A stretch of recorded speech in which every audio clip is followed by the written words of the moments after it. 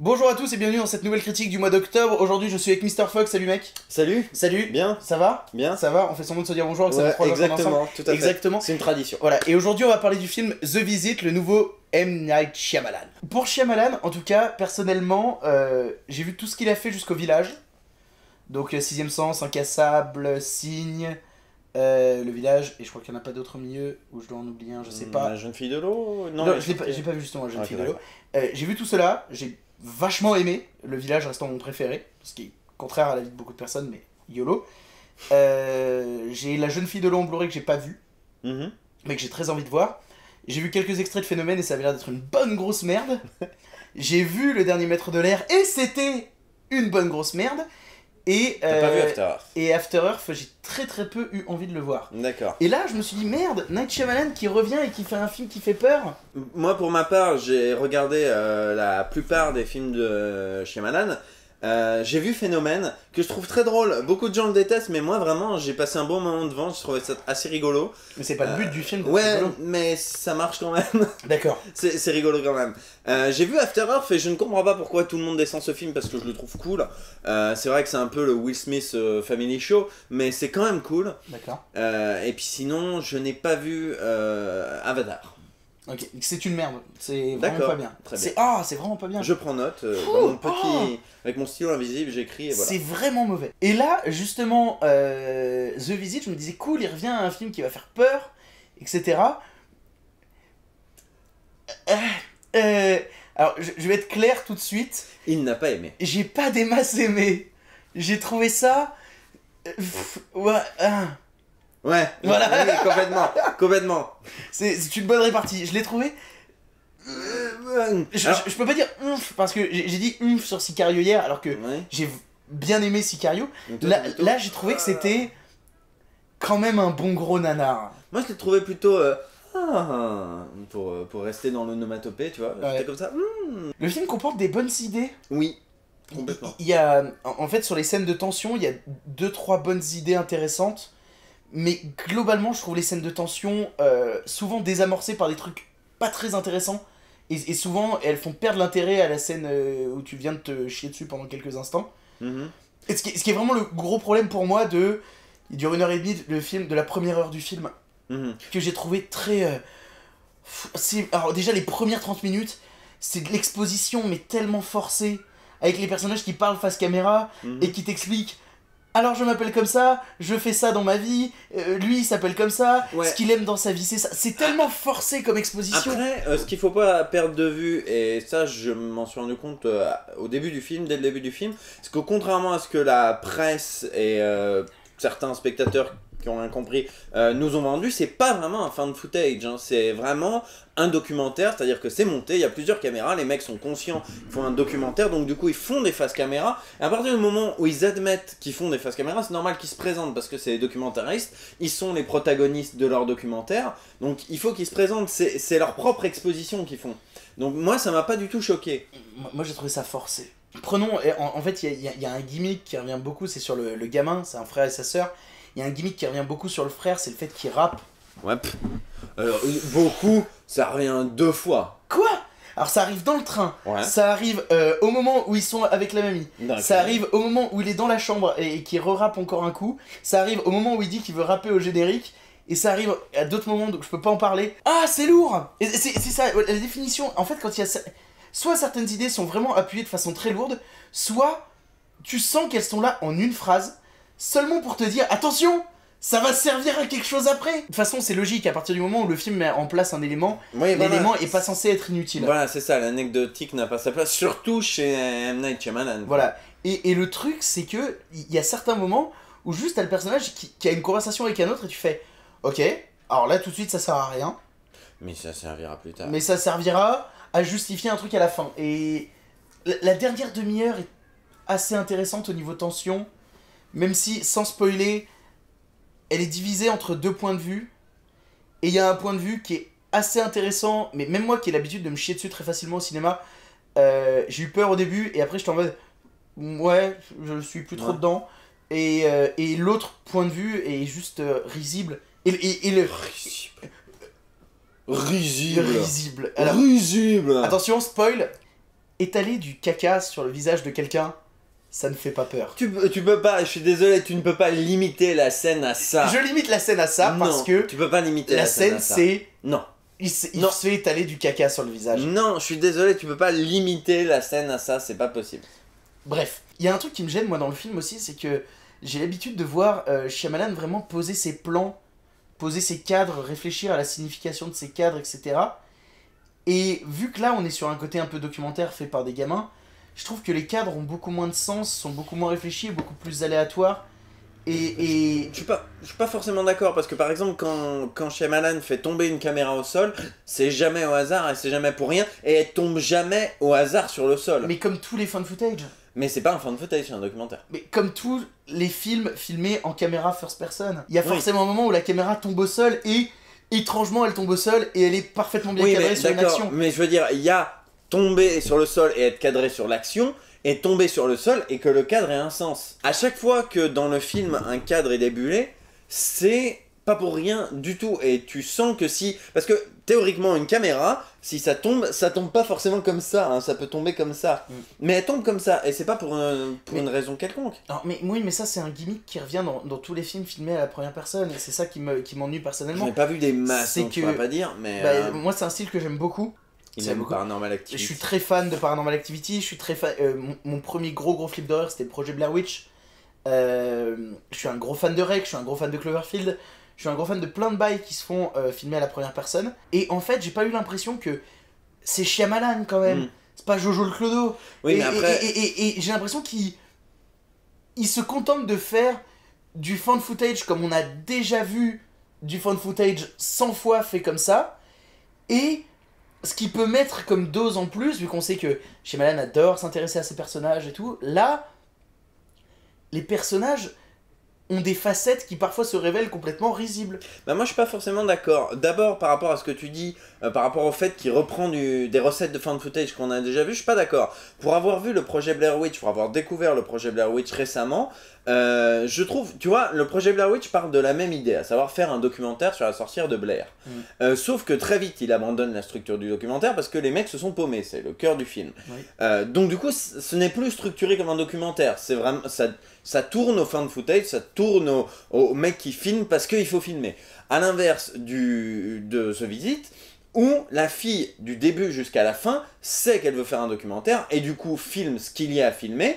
Elle laisse la caméra tourner parce qu'elle sait qu'il peut se passer des choses, euh, parce qu'il y a des dialogues avec son frère qu'elle sait qu'elle va utiliser.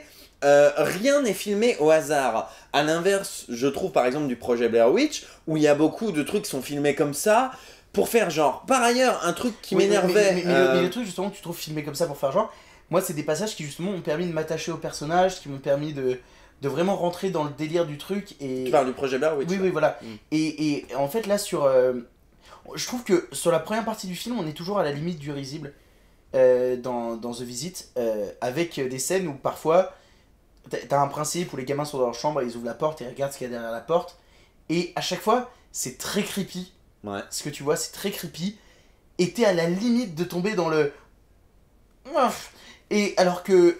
Justement, c'est ça qui est drôle. ce, qui, ce qui est mon souci, justement, c'est sur, sur la, la fin. limite à chaque fois. Sur la fin, il, il les dépasse et, et c'est ultra dommage.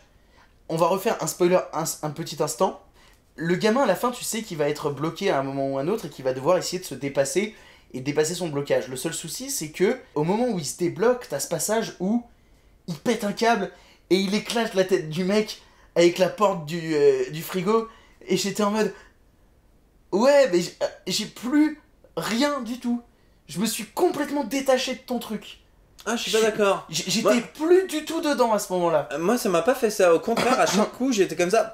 Ouais, ouais. Ouais, le, Ouais. moi le gamin qui revient en mode Ouais, il arrive sur la ligne d'arrivée. Ouais, allez, on est démarqué. Oui, parce que euh, quand- tu parlais du risible. Je suis désolé, je trouve la scène où il se confie quant à cet incident de baseball pas du tout risible justement. Je trouve que c'est une scène vraiment euh, émouvante euh, et que du coup, ça rend le moment où il se dépasse crédible. Toi, tu trouves ça, euh, tu trouves ça risible Euh, Moi, je suis pas d'accord parce que en Peut-être fait, parce que j'ai la- moins cru au la- personnage la- que toi, mais. mais... Peut-être, ouais. Mais, mais- La, la manière dont il a raconté son histoire de baseball était euh, tellement tourné au premier degré, il n'y avait aucun élément à se moquer, la sœur ne se moque pas, il n'y a aucun, aucun peut-être euh, élément de décor où il se passe autre chose qui fait qu'on ne s'intéresse pas à ce qu'il dit. Euh, C'était un truc qui m'avait énervé dans Blair Witch, à chaque fois qu'il se passait un truc, il y avait un truc qui se passait en arrière-plan, ça, ça m'avait saoulé. Mais, mais c'est ce que je cherchais dans The Visit et que je trouvais pas. Eh ben oui, mais fallait pas le chercher. Au, au moment où il parle de son histoire de baseball, le cadre est fait pour être extrêmement large et tu vois juste ce trou de lumière au fond.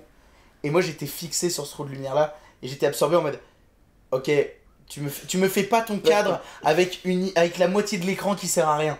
Tu me fais pas ton cadre avec la moitié de l'écran qui sert à rien Du coup, pour rien me montrer. J'attends un truc du coup, et j'attends rien. Et je suis avec mes personnages qui racontent leur vie et je suis en mode Je prends pas les couilles de ta vie C'est marrant parce que du coup, je trouve que tu te contredis un peu par rapport à tout à l'heure, parce que tu disais que ce, fan foot, que ce film reprend la structure de fan footage qu'on a Mais déjà vu mille fois, et là justement, il joue avec, c'est-à-dire que tu, tu l'as dit toi-même, tu es fan de fan footage. Tu as vu tellement de fan footage que tu t'attendais à ce qu'il se passe un truc dans ce cadre, et il ne s'est rien passé. Je trouve que justement M. Night Shyamalan montre que bah, il emmerde les autres fan footage parce que c'est pas un fan footage, parce que c'est un documentaire. Mais c'est pas en emmerdant les autres films, je dirais pas fan footage, c'est pas en emmerdant les autres films filmés à la première personne que tu fais un beau film filmé à la première personne. Non, non, non, pas Et- forcément. Et, et pour, et pour moi, le film, justement, euh, est, est, est giga décevant. Mhm. Tu tu- t'as pas ressenti de, de, de vrais euh, trucs euh, dans le film? Truc Repre- c'est vague, mais euh, re- voilà. Reprenons Blair Witch. Ouais. Blair Witch, encore aujourd'hui, je ne sais pas pourquoi, mais quand je regarde le film, j'ai une boule au ventre et je suis vraiment mal. Vraiment, je suis mal pour ces personnages, je les sens perdus, je suis pas bien avec eux. Et quand le film se termine, les dernières images que tu vois dans le film me laissent à chaque fois scotché. Et à moitié, la première fois que je l'ai vu, j'étais traumatisé. Et là, vu que le film a tendance à désamorcer vraiment tous ses effets, en mode Euh, ça fait peur, ça fait peur Non mais attends, lol Euh, Ça fait peur Oh, c'est pas grave Euh, Oui, parce que du coup, tu t'attends. euh, comment dire? Tu t'attends pas au twist. Parce que Voilà, voilà, en fait, parce que le, le film est un film à twist, bah, comme tous les films de Night Shyamalan, enfin, non, pas. pas le dernier mètre de l'air, Et pas euh, After Earth non plus. d'accord. Euh, mais pour le coup, euh, pour le coup, le twist qui est arrivé justement, au moment où on est sorti de la salle, je t'ai dit que putain, le twist il est bien. Ouais. Dans le film, le twist est passé tout seul en me disant Oh, con. moi, j'étais comme ça. Et, et moi j'étais en mode Oh, c'est pas con. Et puis en sortant du film, je me suis dit Attends, mais il sert un peu à rien. Non, je, je suis. Je pas... C'est mon avis, mais personnellement, je trouve que le twist, on va pas dire ce que c'est évidemment, Non, évidemment. Euh, mais j'ai trouvé que le twist était inutile au final. Ça aurait pu être justifié de façon tellement plus simple sans besoin de faire ressentir absolument au spectateur un wow. Et au final, en en ressortant, j'ai eu l'impression que oui, t'as réussi, l'effet a fonctionné sur Mhm. moi. Mais en même temps, est-ce que tu l'as pas un peu forcé cet effet? Moi, je suis pas forcément d'accord, décidément, je suis rarement d'accord en fait. Ouais. Euh, euh, parce qu'en fait, euh, je trouve que, euh, là je, je m'arrête un petit peu sur la com du film, euh, l'affiche nous vendait la maison comme quelque chose de, de mystique. Bah, c'est là où se passe tout le film. Oui, oui, oui, mais voilà, mais je veux dire, c'est pas la maison en elle-même qui est mystique. Et pourtant, le film nous induit en erreur avec par exemple le gamin qui va dire Je vais aller voir la cabane parce que le, le papy, plusieurs fois, il va dans la cabane. Alors du coup, et comme ça, je vais voir la cabane, et puis dans la cabane, euh, euh, on s'en fout. Euh, je dis pas qu'est-ce que c'est, mais on s'en fout. Euh, ensuite, on croit qu'il va se passer un truc par rapport à la grand-mère qui va à un endroit. Non, en fait, ça n'a rien à voir, on s'en fout. Donc le film nous perd volontairement en nous disant, on croit, vous êtes, vous, vous êtes tellement habitué à, à- aux films d'horreur de base, aux fan footage d'autres bases, que vous vous attendez à quelque chose qui au final n'arrive pas, parce que ça vient pas de la maison. Mais oui, mais ça, en tout cas, moi, ça me procure pas un bon effet. Ça me procure pas un effet de Waouh, j'ai trop kiffé. Parce que constamment, j'ai eu l'impression que le film se foutait de ma Alors gueule. après, je, je Et dis... constamment, le film est en train de me dire Hé, faut que t'aies peur là. Non, non, non. Non, en fait, c'était rien. Il y en a pas tellement dans le film, vu que c'est un, euh, vu que c'est euh, un style documentaire. Ils ont pas besoin de mettre des, des effets musicaux, des screamers ou quoi. Non, non. Il y en a un de screamer dans le film. Il y en a deux, il y en a deux. Ouais, mais alors, le- celui dont on parle, c'est ridicule. Quand, quand- quand je l'ai vu arriver, j'ai fait Tu vas pas oser. Tu vas pas oser faire un truc qui est interdit par la loi. Oh, tu l'as fait Non, je, je, je, Oh, C'est comme quand on t'envoie des sites avec une photo, tu sais, de la gamine de l'exorciste, juste qui gueule un coup. Voilà, voilà, juste, bah ça te fait sursauter. C'est le seul moment du film où j'ai vraiment Alors- sursauté et où je me suis dit Oui, mais tu te fous de ma gueule, j'aime pas qu'on se foute de ma gueule Alors assez bizarrement, moi j'ai pas sursauté sur celui-là, moi j'ai sursauté sur euh, la farce. Euh, D'accord. euh, moi là, là tu m'as peut-être vu, j'étais comme ouais, ouais. Mais par contre, euh, le, le screamer dont on parle, moi j'étais comme oh, d'accord. Mais ça s'inscrit dans la continuité de ce qui se passait dans l'action, donc ça m'a pas, ça m'a pas choqué parce que de toute manière, euh, je suis désolé, Je on, dis, on spoil, trouve ça. On spoil un petit instant. La grand-mère, il fallait qu'elle la récupère la caméra. Donc, euh, elle n'allait pas arriver par le côté? Hmm, caméra, je vais le truc. Parce que on a vu que ces cris, c'était des crises de violence. Alors, Donc elle justement, pouvait pas arriver en prenons, disant Ah prenons un autre phone footage, euh, enfin phone footage première personne qui est très cool, à savoir le dernier exorcisme, Ouais, j'ai pas vu. qui est très bien. Euh, et euh, t'as un moment, Me raconte pas la fin. non, mais t'as un moment où un personnage prend la caméra et tu sais pas qui est derrière la caméra. Mhm. Tu vois juste la caméra se balader dans la baraque. Ouais, sauf que là, Et pas... c'est tellement plus creepy quand tu comprends qui est derrière la caméra et ce qui est en train de se passer, plutôt que de faire Pouh Je vais prendre la caméra et me balader. C'est forcé. Oui, sauf que c'est pas possible parce qu'elle est collée au fond se- d'un meuble. Le film, Elle est collée se... au fond d'un meuble, tu peux pas aller la récupérer derrière. le film se fout de notre gueule en Alors, permanence. pour, pour parler du ressenti général, moi, effectivement, comme tu l'as dit, j'ai pas kiffé en mode Ah, le, le film cherche à me perdre. Par contre, j'ai, je me suis senti devant un film euh, nouveau. Et pas un film que j'avais déjà vu un milliard de fois, tu vois. Putain, je- je- je- pendant les 10 premières minutes, moi j'étais déjà en train de gueuler dans la salle. Ouais, à côté, j'étais déjà en train de dire Oh, mais C'est saoulant C'est forcé. Mais faites pas ça, les Non, je gars. suis désolé, moi. On a déjà vu ça cent mille fois, pourquoi vous faites ça? Encore une fois, moi ça me paraissait nécessaire étant donné que c'était un documentaire et pas un fan footage. Du coup, je disais, ok, la documentariste se présente. Je suis désolé, mais dans le projet Blair Witch, elle fait pareil. Elle arrive, bah non, je m'appelle Machine et on va tourner un documentaire sur la sorcière de Blair. Je suis désolé, euh, c'est tout aussi forcé. Mais c'était en 95, je crois. Euh, 98 ou 17, je sais plus. Je sais plus. C'était c'était pendant les années 90. Tu peux plus réutiliser les mêmes codes que dans les années 90 maintenant. Parce que c'est devenu forcé. Non, tu peux plus. Les, les codes de, de ces années-là ne sont plus utilisables maintenant. Il faut justement dépasser ça. Et c'est justement ce qui était intéressant quand tu voyais Projet Blair Witch parce que c'était novateur. Tu regardais Paranormal Activity, c'était novateur par rapport à ce qu'ils avaient fait avant au niveau du fan footage. T'es peut-être pas d'accord, mais c'est le cas. Au niveau des idées, les trois premiers Paranormal Activity, chaque nouvel opus a une idée dingue. Mec, le 3, Voile 3, c'est le meilleur, il est réalisé par les gars qui ont fait 4 fiches, il est incroyable. Euh, tu regardes Rec, Euh, Rec, c'est bourré d'idées novatrices à ce niveau-là. Et justement. Et justement euh, le dernier exorcisme aussi, il y a des très bonnes idées. À chaque fois, ça s'inscrit dans une continuité de. de euh, d'apporter des choses nouvelles Oui, au mais genre. Est-ce que, Là, ça n'apporte rien est-ce si que ce pour n'est. euh, tous les films que tu m'as cités, l'intro est pas. est, est innovatrice à chaque fois? Non, tous les films que tu m'as cités En commencent cas- par Hello, we're gonna make a movie about uh, because it's scary thing in a house. Paranormal Activity le fait pas. Paranormal Activity, ça commence direct où il est en train de filmer sa femme. Et ils sont en train de discuter. Et sa femme. Tu et- filmes là? Ah oui, je filme. Non, non, sa femme lui sort une phrase en mode, en mode je suis pas très sûr qu'il faille filmer ou quoi. Et il Ah. dit ouais mais moi j'ai acheté cette caméra, je suis content de l'avoir acheté. Je- je- Et tu comprends au fil de leur discussion que il a acheté la caméra parce qu'elle est pas rassurée la nuit. Je, je suis désolé. Tous Mais les films, le film tous les films en footage commencent par tu filmes là? Ou Non. par la fille qui se présente et dit ouais je m'appelle Machine. Non. Si. Non. Si. Non. Si. Non. Si. Non. Si. Non. Si. Pour, pour revenir sur mon ressenti général, moi j'ai vu un film nouveau. Alors je dis pas que j'ai été étonné dans tout le film en disant Hum, je me demande ce qui va se passer. Euh, non, peut-être pas. Mais en tout cas, jamais je me suis dit Oh là, je sens venir ce qui va arriver parce que je le sentais pas. Genre le- la partie de cache-cache sous la maison. La partie de cachette Je me suis très dit- inattendue. Qu'est-ce qui, qu'est-ce se passe Elle marche Mais qu'est-ce très bien que cette scène. quoi pour eux? Mais elle est désamorcée. Ah, d'accord. mais elle est désamorcée aussi.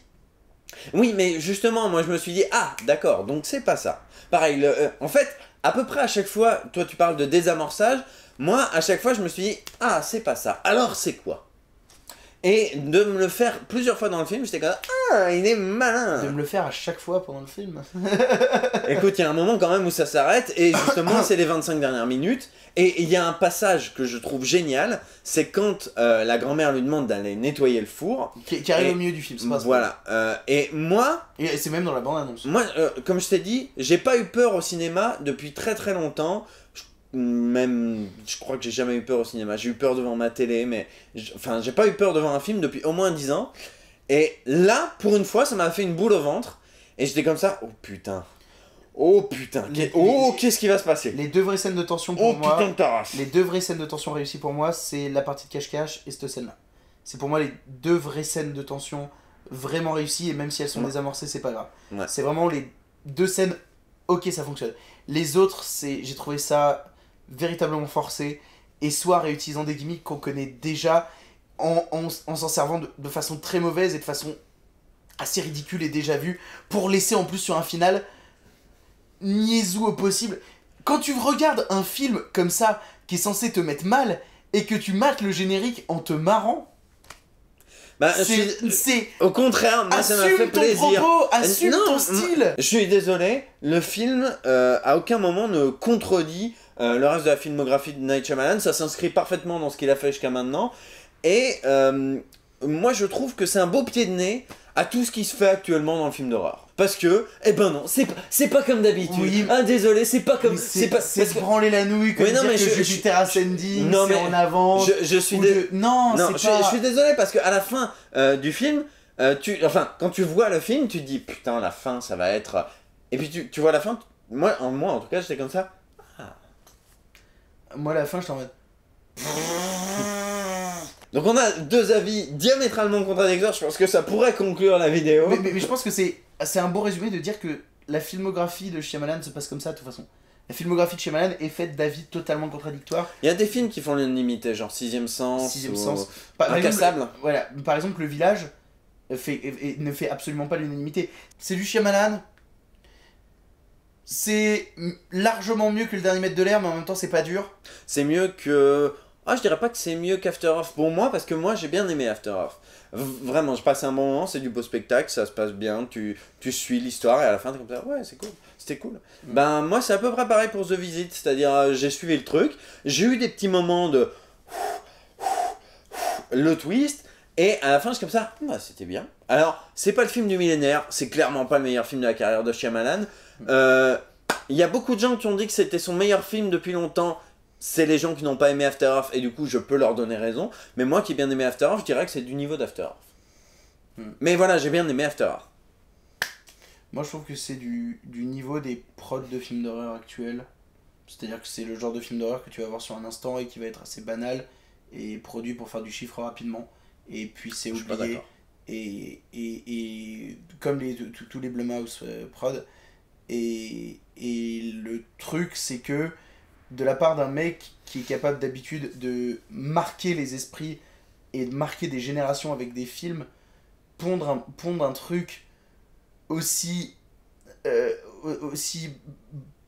J'ai plus le terme, mais. Bateau. euh, Voilà, au- au- au- aussi euh, au ras du sol que ça.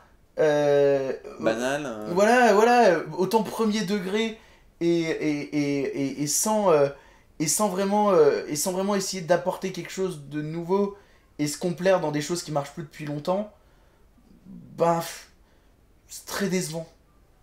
Ce serait décevant de la part d'un réal quelconque pour moi, et c'est très décevant de la part d'un mec comme Shyamalan. Je sais pas quoi te dire, hein, moi. euh, alors. euh, On n'est pas d'accord. Voilà, je pense Voilà, c'est- la, pas, bonne d'accord. phrase pour conclure. On est visiblement clairement pas On n'est d'accord. pas du tout d'accord. Voilà, Donc- c'est ce qui fait, j'ai envie de dire, la beauté du cinéma. Donc, faites-vous votre avis sur le film. Exactement. Allez voir ou non The Visit. Moi, personnellement, je vous conseillerais d'attendre qu'il soit sorti et de se le télécharger de façon totalement légale. Moi, je vous conseillerais plutôt d'aller le voir au cinéma, pas tout seul, euh, avec des potes. Comme ça, les passages un peu rigolos, parce que, mine de rien, il y a des passages un peu comédie dans le film. hein. Euh, Ah bon C'est pas une heure et demie de comédie?